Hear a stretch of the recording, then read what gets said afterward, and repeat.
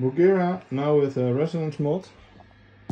Normally it's set at uh, 9 o'clock and I've set it now at 10 or 11 o'clock with the potentiometer. This is how it sounds.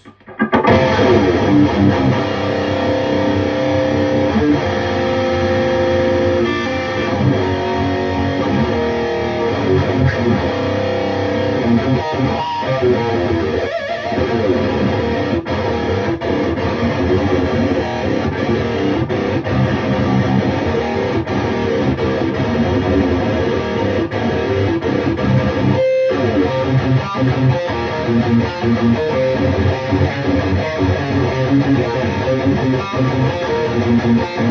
you.